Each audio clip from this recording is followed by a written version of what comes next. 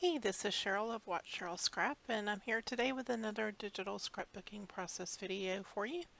Today I'll be scrapping this um, picture of my son and daughter uh, just to get this past weekend uh, for my daughter's 19th birthday.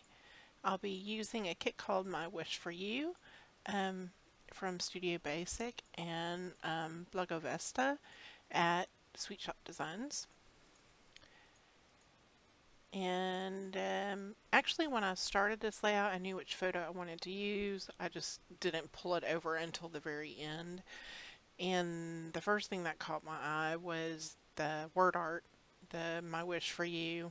And I wanted that to be in the center of the page. So that's where I started building. Um, and I liked the little word strips.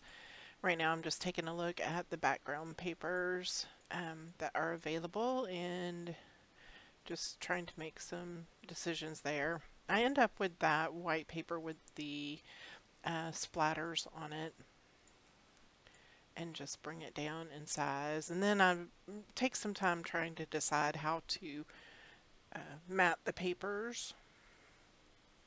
So you'll see me pulling some things in here and there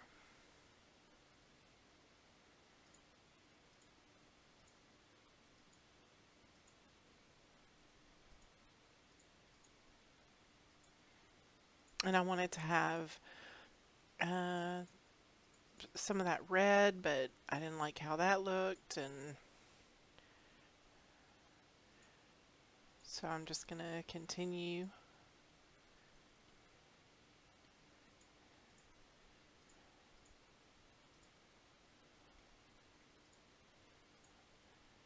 I've added that um, black arrow paper in the back. And because the word art has those uh, stamped red pieces, I wanted to have that red background paper, so I really did like it a lot better after I put in the black and white. And now I'm just slowly going to be building up the page itself um, using paint and elements and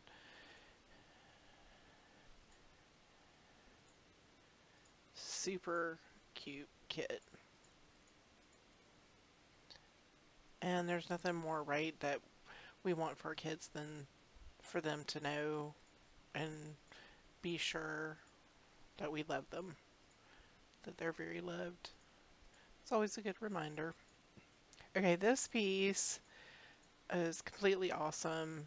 Just a whole, um, it has the tag, it has the paint, everything. So quick and easy to make.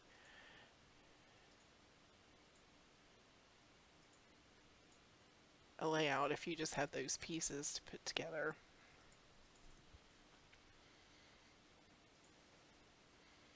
Now I took those little hearts there and I did put them behind the word art because uh, I had added so much paint it was starting to get a little lost. But I still liked how everything was back there.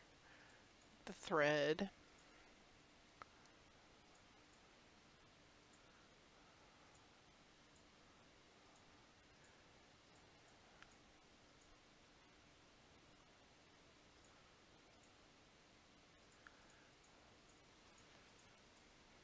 There's lots of elements, very unique elements in this um, collection and made it just really easy to scrap with it.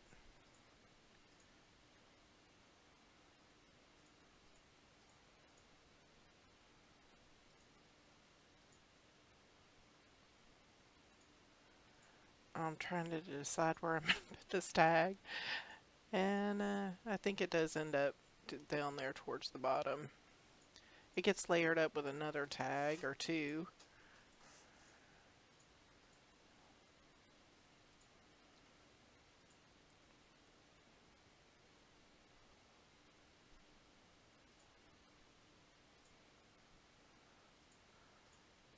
this little element with the star and the toothpick. That's very cute. Made me want to reach out and touch the layout when I got finished with it. I really liked the dimensional elements, but it wasn't like too much dimension. It was just right.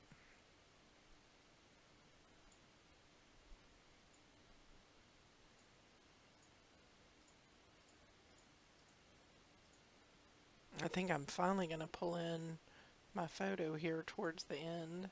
Oh, yeah, there's that other tag that I added in.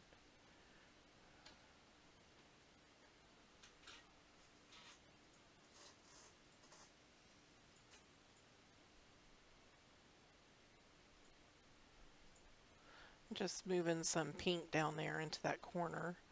Just a little flower.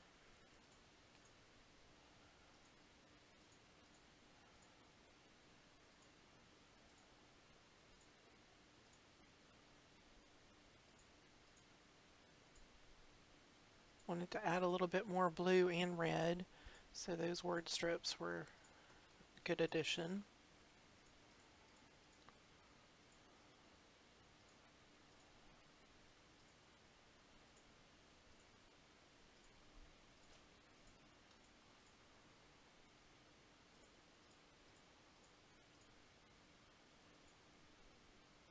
Just adding several flowers in.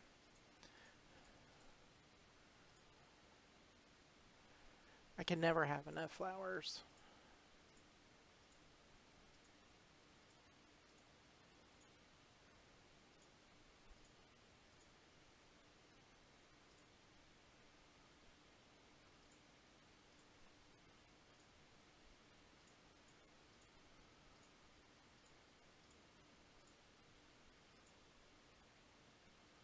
And then here you'll see the last thing that I do is um, add the photo and I do my journaling and uh, custom shadows off camera.